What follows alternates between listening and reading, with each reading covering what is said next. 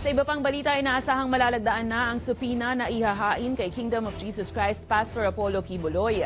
Dahil yan sa patuloy na hindi pagsipot sa mga tawag ni Senator Rizo Ontiveros kaugnay sa investigasyong kinakaharap nitong issue. Tiniyak naman ni Senate President Juan Miguel Zubiri na lalagdaan agad ang supina order oras na makabalik ito ng Maynila.